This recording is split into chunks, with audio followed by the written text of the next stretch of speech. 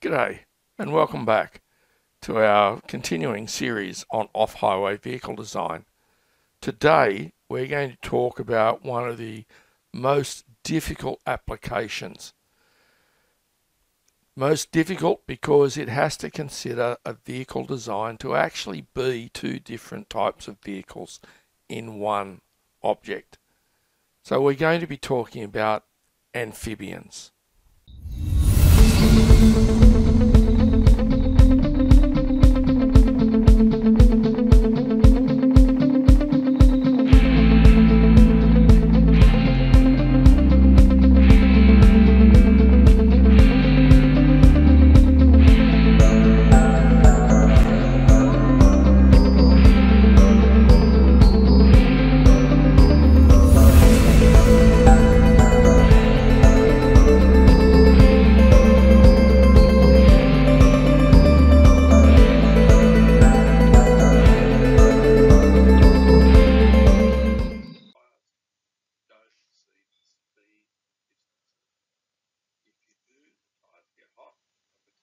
This is a very large topic, so the video might be a little longer than usual.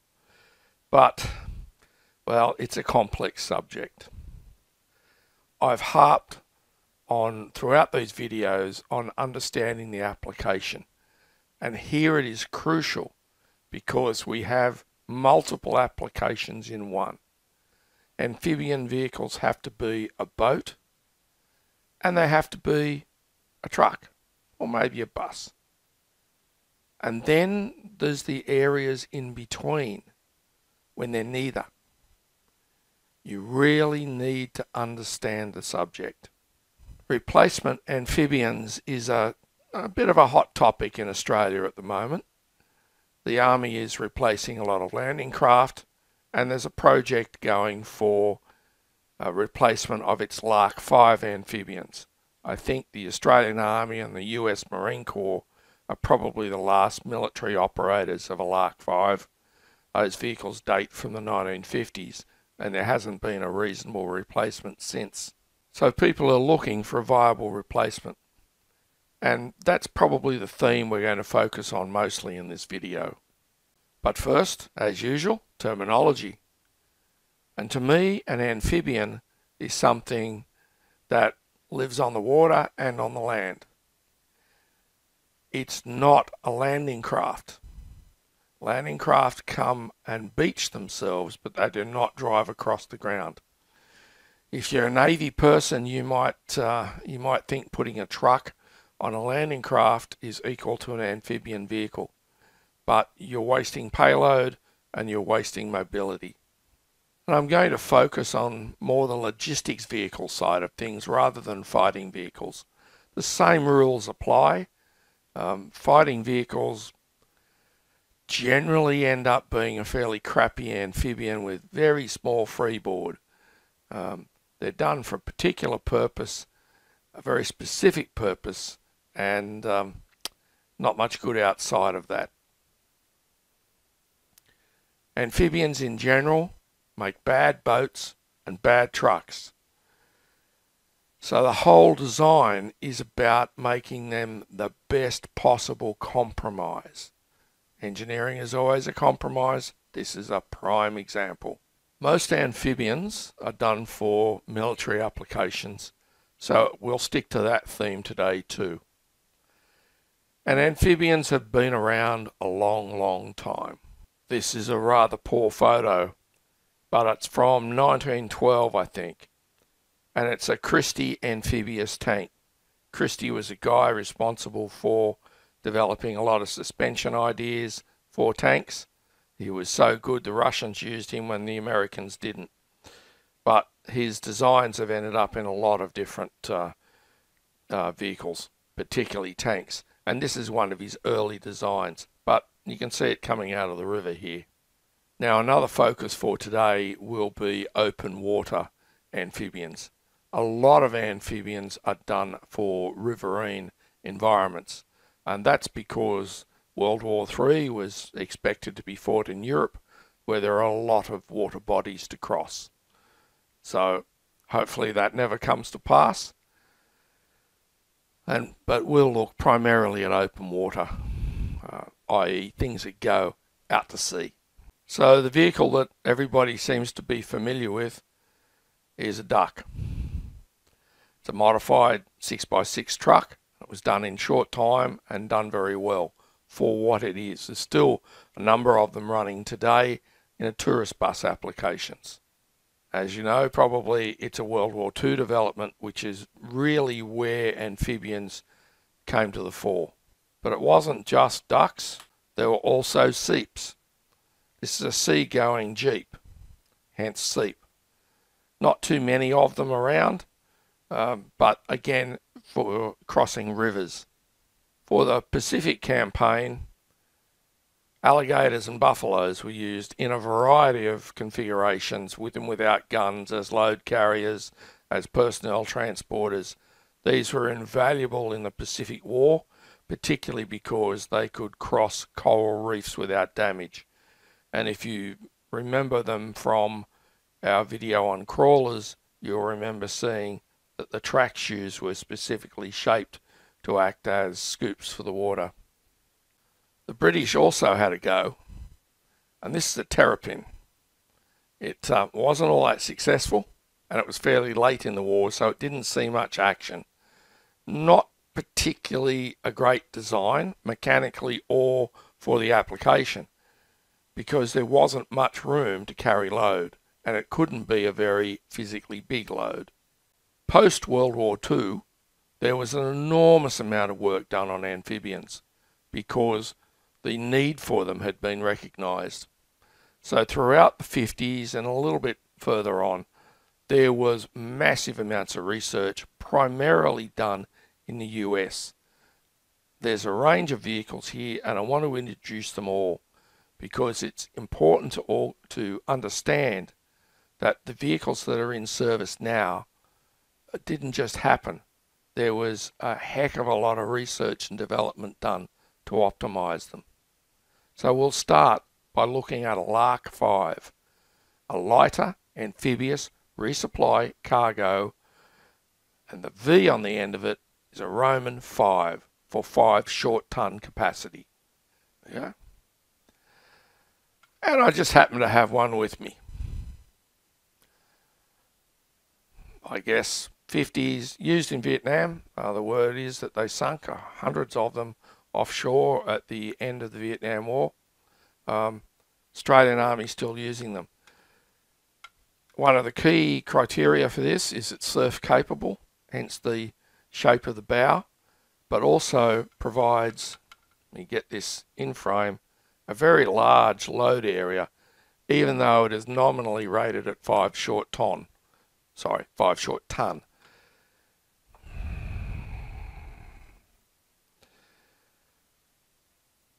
But that wasn't the only lark. This is a Lark 15. Same designator, lighter, amphibious resupply cargo, 15 short ton. It's a much bigger vehicle. Here's a prettier picture.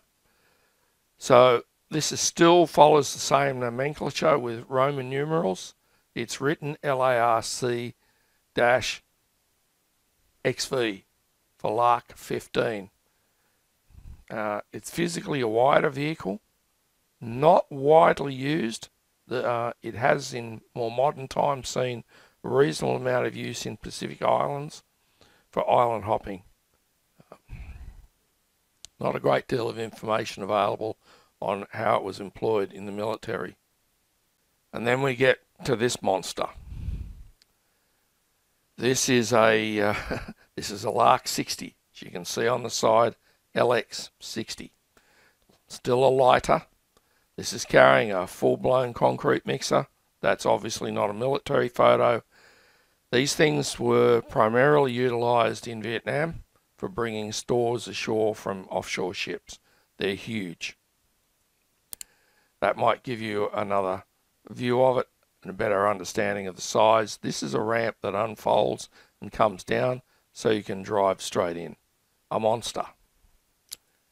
And this rather poor photo puts it beside a duck. Makes the duck look like a toy.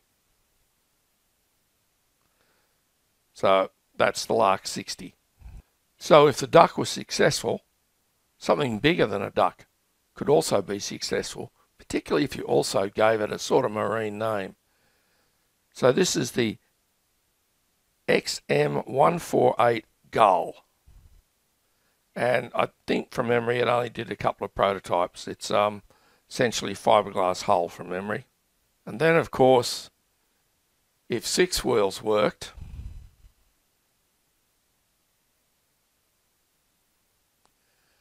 well, eight wheels just had to be better. So this is the XM157 Drake. Not a duck, it's a Drake. And then we get all sexy. An LVH X1. Now, it's not immediately obvious, but this big arm here rotates down and makes this into a hydrofoil. And here it is at speed, LVH X1. And then of course, you can always make a hydrofoil better and faster. So here we are with the LVH X2. Uh, similar design, notice the retracted wheels, this thing could squat down on its suspension and do all sorts of amazing things. And at the time, it got a fair bit of uh, fair bit of publicity. From memory, it was also turbine powered, so very fast vessel. So since your army, anything wheels can do, tracks can do better. So here is the LVT UX2 a damn big tracked uh, amphibian with a ramp. And this is the only shot I could get of this one. This is the LVW, W for wheeled, LVW X1. It is interesting to look at the hull shape. It's removed here and the wheel wells are swept back for some sort of streamlining.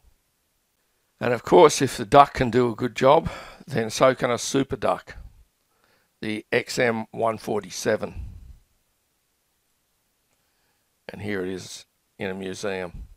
Not a great deal of information available about it either, but it was a purpose-built unit, whereas the original Duck was a repurposed truck.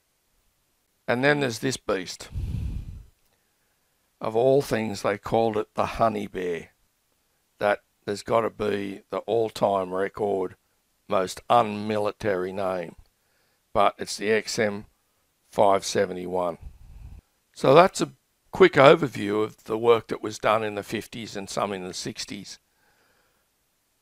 You'll see the extent of it, and there's masses of papers and technology and research and tank trials and so forth that back all that up. The upshot of it all was the Lark series.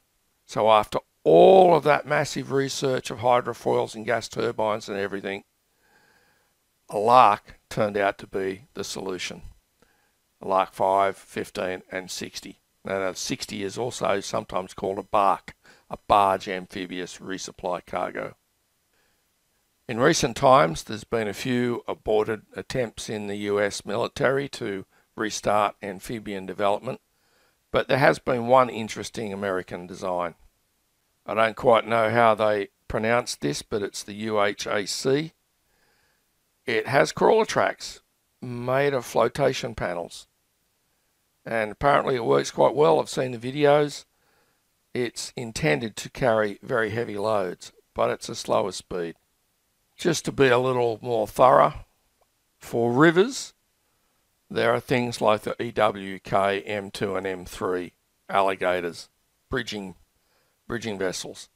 Um, and here you can see three of them uh, connected to make a bridge. They're still in service today. EWK, who developed them, also did a number of other things, and this is a bison. Um, but as you can see, it's amphibious with some inflatable pontoons, um, but it's suitable for riverine environments only. And there's also the UK's Alvis Stalwart, the old Stolly, um, very amphibious, primarily designed for river applications in Europe, but it was used in places like Norway to uh, access offshore uh, islands. There's also been an array of, I'll say, recreational vehicles uh, produced um, in the last few decades from tourist buses for rivers and cities. Um, and uh, Gibbs have done uh, a number of Aquada type uh, developments for cars and quad bikes, but nothing much to carry big loads. Now, to give a military background to this, I'm not military, but I am a student of, of military vehicles.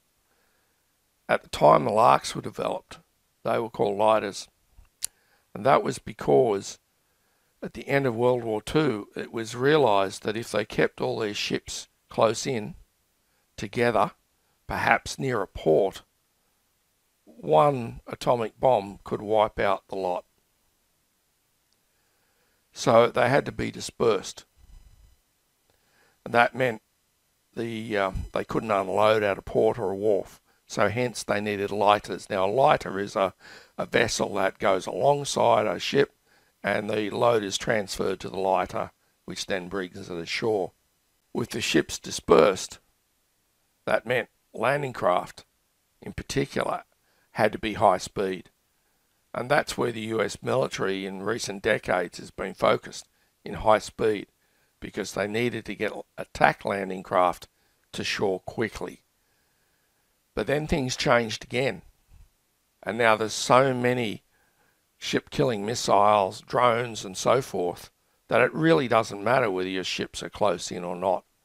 And I think that's the reason the requirements for high speed landing craft uh, in the US has uh, has changed, and we're back now to looking at just how to get uh, stores ashore on unprepared shores. So let's talk a little bit more about the application. Lots of photos of larks have them coming ashore on beautiful sandy beaches. Couldn't be an easier application. You know, didn't have to be a special vehicle to get washed ashore. And of course, returning to the sea can be a little harder. Uh, if there are some amphibian videos online that um, show some pretty exciting times going out through the surf. But a lot of photos and expectation is that amphibians come ashore on beaches like this. Obviously, it's an Australian beach, lots of sand bit different if it's UK. Um, bit different if it's Antarctic, where these things are still used. But Northern Australia gets uh, 40 foot tides. And that leaves miles of mud flat. So, is that going to be part of the application? What happens at low tide? You know, high tide is only there for a short period and you may still not be able to get ashore at high tide if it's a shelving, muddy approach. And then let's talk about working in rivers. Rivers have riverbanks. How the hell do you get up a riverbank? They're not normally nice and shelving like this one. So some amphibians, like this UK combat engineering tractor, actually have rocket powered anchors to take out a winch rope to help them get up the riverbank. These are being phased out now, but that sort of application problem still exists. The hardest thing for an amphibian to do is to come ashore. We also need to think about is it still a lighter? Does it have to maintain position next to a capital ship? position maintaining takes extra effort and extra design. You might need a bow thruster, for example. These things have to be considered. And then we get to the hull form. The recent work that I've been involved in for the Australian Army uh, to satisfy their requirement has indicated that the hull form of the Lark 5 which is not quite a V, it's sort of a rounded V, is still the best hull form for penetrating surf. So if you're going to penetrate surf, well, how big a damn surf is it going to be? It needs to be considered. One of the problems I've had in civilian amphibians, well, let's get this here. That is the gunnel. That's at the point where the water would start to lap over the hull. The requirement for civilian amphibians is that there's quite a gap there. And the issue is further compounded if the weight is off, off centre or the vehicles. If it's a tourist bus, if everybody rushes to one side of the vessel and it tilts, you lose gunnel height. This is one of the points where a military amphibian may need to be different to a civilian amphibian. I got involved in amphibians supporting a, a tourist bus that operated in Sydney Harbour. And one of the early problems with it is that it pulled the steering box straight out of the hull. I've no doubt the naval architect had done a great job designing the hull form. What didn't seem to be appreciated was as a vehicle, there would be a number of high point loads and the steering box was one of them. It didn't just rip the steering box out, it took the bracket out and a section of a hull about a foot across. Um, that's when you you're very glad you've got big bilge pumps. So the point with that is that amphibians aren't just boats. You can't just design the hull as if it was a boat. So a naval architect will get very concerned about the amount of drag on a lark, I say it's got three bow waves. It's got one from the bow, it's got one from the front wheels, one from the rear wheels. And you can actually see them go off uh, from the, the lark as it's traversing the, the water. So that's, in round numbers, three times the amount of drag, straight up. Retracting the wheels, which is done on a lot of those experimental vessels, helps reduce the drag. But it produces side effects. It very much complicates the vehicle, the mechanics of the vehicle, and it also means that this wheel well has to be much bigger. And that's buoyancy. You start taking away bits of hull, you're losing buoyancy and payload. So again, it's a compromise. Do you want maximum payload or do you want maximum speed and efficiency in the water. And no, you can't have both. Similar problems occur when we talk about the waterborne drive. Is it props? Is it jets? What is it? This sort of vessel for a, a, uh, a wheel vehicle, the wheels are not sufficient. If it was tracked, yes, maybe the tracks themselves would be sufficient, but certainly won't get you high speed and may not be suitable for surf. The original Lark was prop driven and I'm going to try and show that to you. There's a prop. Back in here, a shielded prop. And that works really good. But, and there's always a but, what happens when it's full of seaweed? Or you're in a river and there's lots of reeds and rushes propellers don't like that. You can get it clogged. And I believe there's also a maintenance nightmare that somewhere in there, somewhere in there is a bearing that has to be lubricated every half hour. So, yes, that would be a job for the most junior, most junior soldier to crawl under this wet, perhaps muddy, sandy vessel with a grease gun every half hour. Yeah, I really expect that happens. So props work well, um, but they have a downside. Reeds and rushes and seaweed are maybe a problem, but the other thing is clearly visible here. That prop has a very large duct. That probably cost this vehicle a ton in payload at least because that's water this hull is not displacing. So again, props are simple, they're a known thing, but you lose buoyancy and payload with them. and maybe you've got a reed rush and seaweed problem. So if you don't like props, you can use water jets. And that would probably be the logical solution these days. Water jets provide good thrust, and steering, and they're reversible. And they require less hull cutout, so you get a bit more buoyancy. And it's for those reasons they were used on the first vehicle, first amphibian I had to work on. This is the Aussie Duck that ran in Sydney Harbour. It was a modified lark, it had been cut down the middle, and it used pontoons to come down the side to give it the stability. You'll see very high windows because that's um, the gunnel.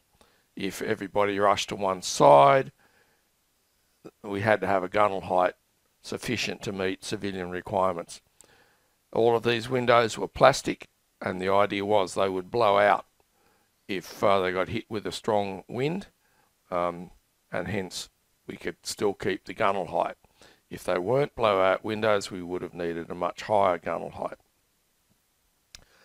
But this unit used pump, uh, water jets, and they work very well, but with one big downside. They are susceptible to plastic shopping bags blocking the inlet. So, on the Aussie duck, the intake ducts had a pipe going up from them.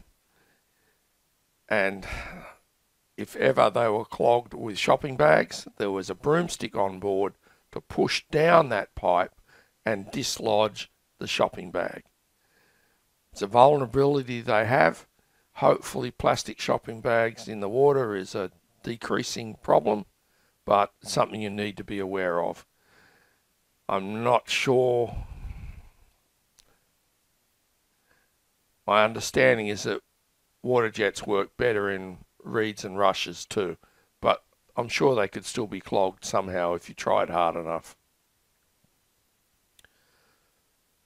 Next alternative is my personal favourite, and it would be a pump jet.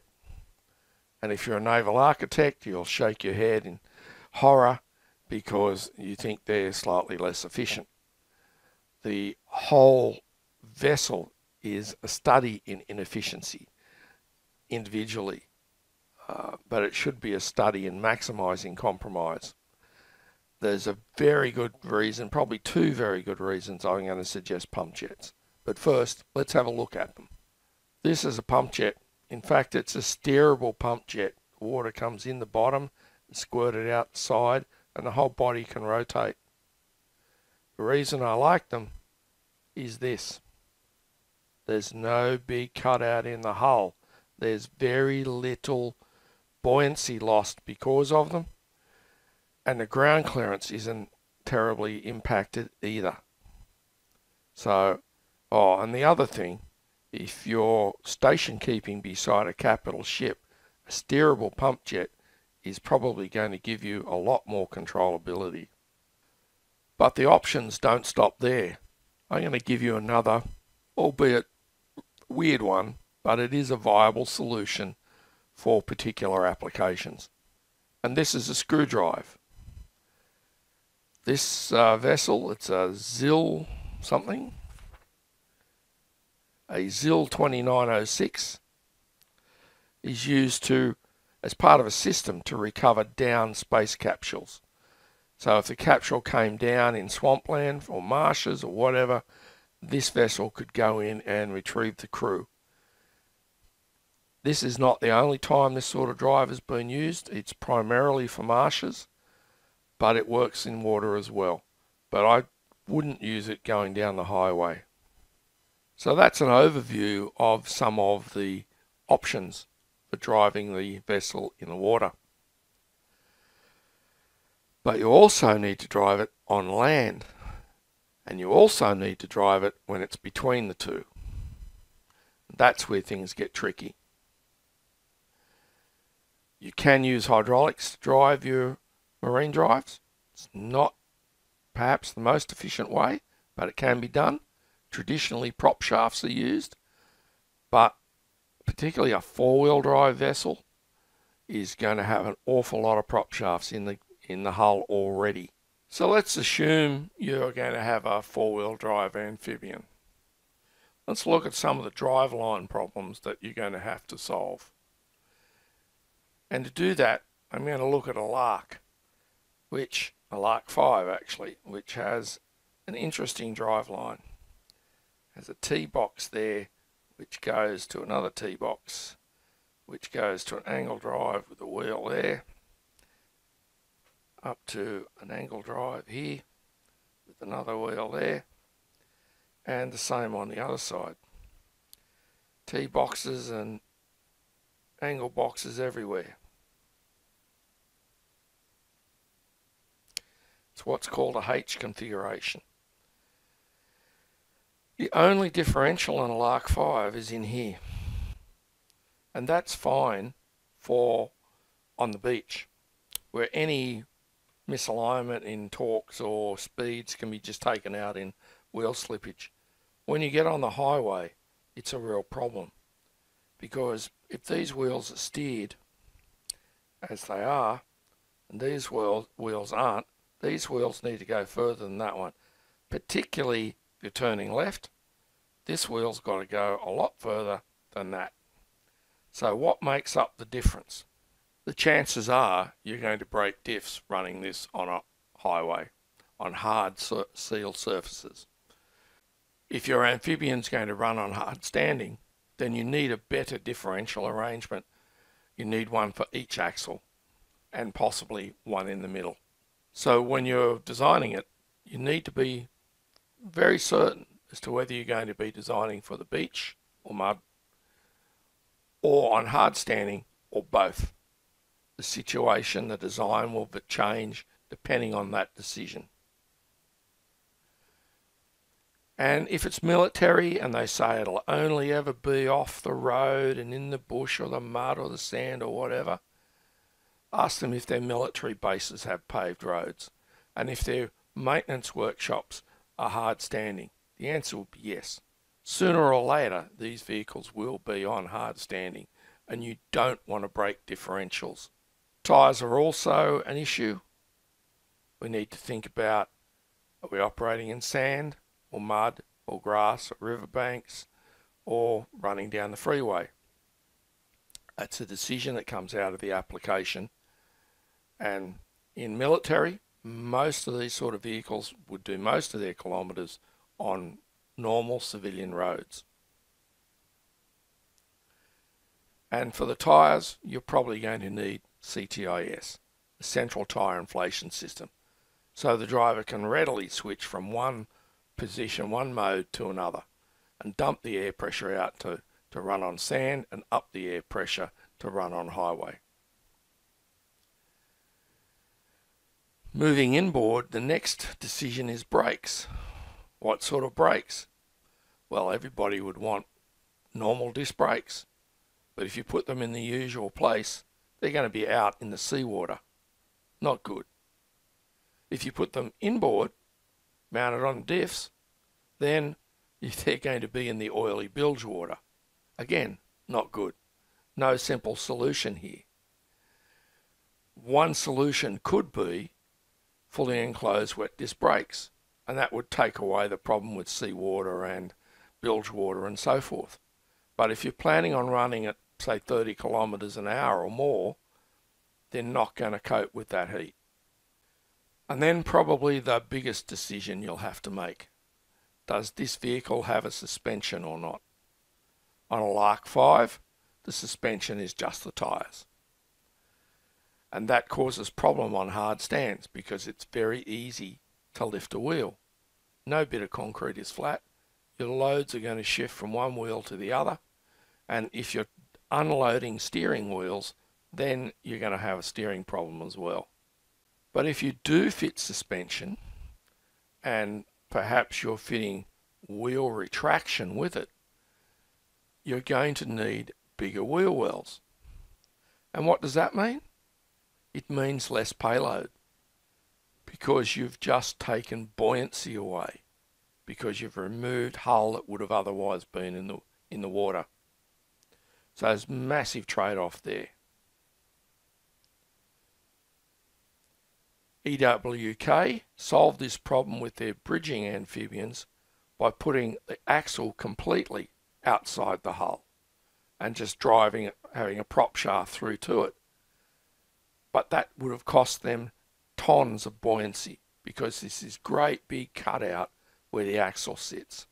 Now, if you're going to do perhaps um, an independent suspension with the diff mounted inside the hull and the wheels mounted outside, then you've got to get a drive shaft out through that hull. And the drive shaft is going to move up and down with the suspension. So that's not an easy joint to seal. Hydraulic drive can remove many of these problems, but it also means your hydraulic components are out in the water. And hoses and so forth may be susceptible to damage as you come ashore, and you may have a problem with environmental concerns if you've had an oil leak. So boats are more stable when they're wider, and trucks are more stable when they're wider. But there are limitations, and it's called the lane width on your roads. If you have to meet civilian lane width requirements, in Australia, you're about 2.4 metres wide. LARC-V has federal approval to run wider than that because it can't be reduced in width. Civilian amphibians have been using pontoons and so forth to be narrow on highway and wide in the water. Pontoons, yeah, they work. They're complex, they're annoying, they're unreliable because they're running in salt water. Not so much the pontoons, but all the sensors and locking mechanisms to make sure it's all working properly. So width is an issue, and hopefully if you're doing a military job, the military has had the courage to go to civilian authorities and tell them to demand that they permit a wider vehicle. Now let's talk about some operational issues with amphibians. It's really easy for an amphibian to get into the water. You can fall into a swimming pool. You can fall into a river. You can fall into the surf. Really easy. But it's hard to climb back out of a swimming pool. You need to brace yourself, lift yourself up, get a leg over the edge and out. It's much harder than falling in.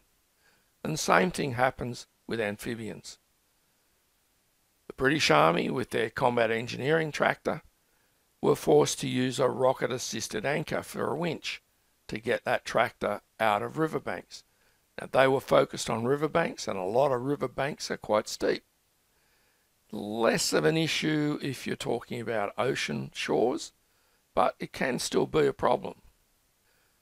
So, coming ashore on a beach, whether it's in surf or not, is relatively easy and it doesn't really matter too much what the wheels and props are doing. You can have both running, you can just run the props until you're well onto the, the sand and then turn to wheels and drive out. It's an easy, easy fix. Coming ashore on a boat ramp, you would think would be fairly easy too. Same deal, surely. It's a boat ramp, it's probably concrete and simple. Yeah, but what happens if that boat ramp is at 90 degrees on a river or a bit of tidal area with the tide and current running hard? You're going to want a lot of power to your props to keep you lined up with the boat ramp. And in most amphibians, you would have the wheels engaged at the same time, albeit maybe in first. Lots of revs, lots of power to props means lots of revs to wheels. And then you hit the boat ramp and everything goes kaboom with a big shock load. Particularly if it's a concrete boat ramp, it's low tide, and there's a drop off at the end of the ramp, and you've just hit that edge with your wheels. Your wheels that are spinning quite fast. Coming ashore is definitely the hardest thing to do right. There's also the situation where you're driving, let's say, down a river, and it might be low tide or there's maybe not much water in the river, and your wheels are in contact, then they're not, then you're floating, then you're not. You can't be switching from prop to wheels, prop to wheels, and so forth all the time. You have to be able to drive both at the same time. So there's multiple different modes that an amphibian must go through. It's not just in the water or on the land, it's going to and from that you must consider, particularly if you're in that nether region of not quite floating but not quite driving on the wheels. You need to think seriously about your transmissions. Some of this is similar to pump and roll on a airport crash truck, where big crash trucks with single engines need power to drive the wheels so they can drive around the crash site at the same time they're pulling power to drive the pumps. Pump and roll is very expensive to fit, so you need to think very carefully about what drivetrain you're going to put in an amphibian.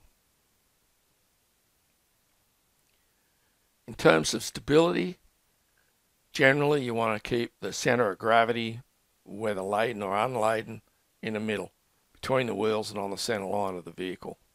Uh, so that irrespective on land or on water, you're still as stable as you're going to be. Electrics are always a problem because of the salt water.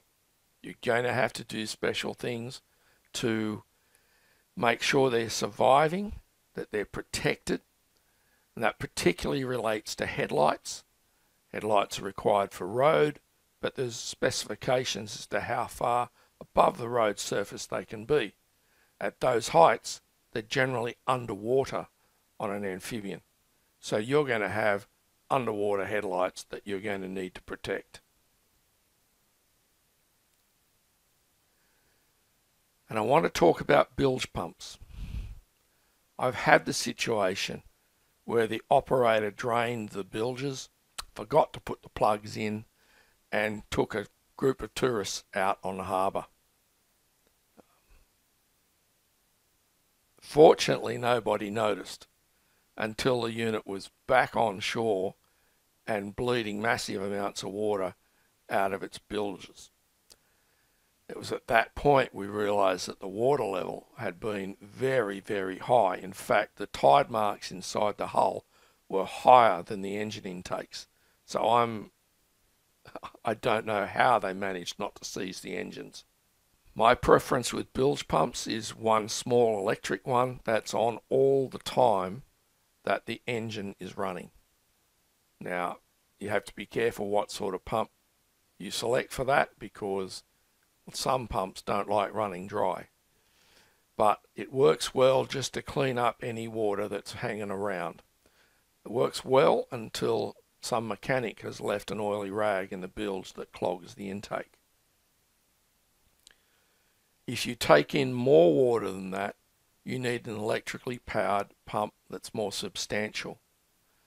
And that probably means it needs to be float activated. So the water level gets to a certain height, the pump turns on, and the driver gets an indicator that he's got a problem or he's heading towards a problem and he needs to be aware of it.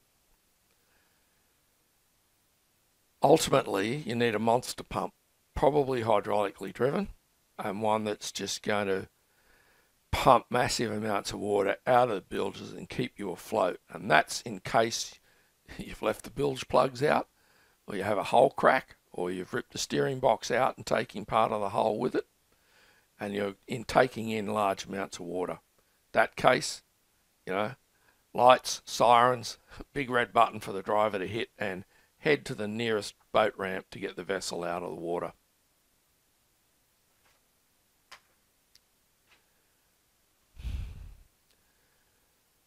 and crew.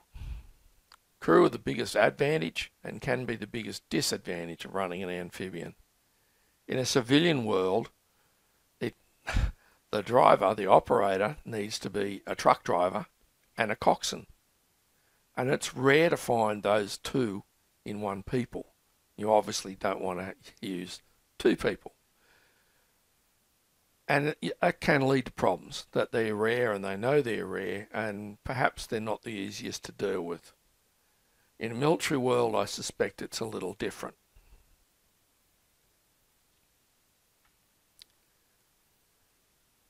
And my pet beef is toilets. If you're doing a tourist bus, you're probably going to have to have a toilet because your incoming Japanese tourists expect to have all mod cons in every circumstance. They're not easy. When you're on the water, the wastes need to be macerated and sterilized and then ejected to the water. When you're off the water, they need to be collected so that next time they go on the water, they can be macerated and sterilized and ejected. It's a pollution thing, an environmental thing. You're probably going to need a very special toilet and lots of control systems. My experience is they're a real pain. So that's the end of my deep dive into, uh, and no pun intended, into amphibians. They are the ultimate in compromise. Absolutely need to know the application, the real application, not just what people tell you it is. You need to be need to be careful that the design part segment you're working on matches the overall strategic requirement. And this is a warning for naval architects as well. They're not designing a boat, it's a vehicle. So there's enough difference from a boat that they can't just assume it's like a boat. Right down to the sort of brakes you fit is affected by the marine application. And as I said, if you put them outboard, you've got problems. You put them inboard, you've got problems. You put no brakes on, you've got problems. So there's it's a compromise right through. Be very sure that you know your application and that you've you've actually told people what the trade-offs are so that no one is surprised at the end. And if ever there was a design that cried out for reliability and maintainability, this is it. You, know, you can't pull into a service station while you're while you're at, on the water. Um, you might be able to get down into the engine bay and fix a few things, but it's very limited. You need something that will be reliable, particularly while you're on the water, and it's maintainable in that you can access parts as and when required. So that's amphibs. They're complicated beasts. They're never the best they can be because it's all compromises. So cover all the compromises, understand them, enunciate them until you're comfortable with what you've done. And then, and very importantly, go have fun because there's a hell of a lot of fun involved, particularly at splashdowns, which Aussie Duck used to do very well. So you can be serious while you're designing it, but don't forget to have a bit of fun too. That's all till next time.